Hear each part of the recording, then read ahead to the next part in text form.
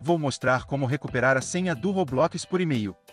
Primeiro, acesse o site roblox.com pelo navegador do seu celular.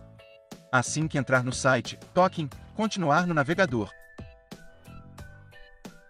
Nessa página de login, toque em Esqueceu a senha ou nome de usuário? Agora precisamos decidir se queremos recuperar a senha ou o nome de usuário. Depois podemos recuperar pelo número do celular ou endereço de e-mail. Se optar por celular, basta escolher o país e depois colocar o número do celular com DDD. Para recuperar por e-mail, em Usar e-mail para redefinir a senha.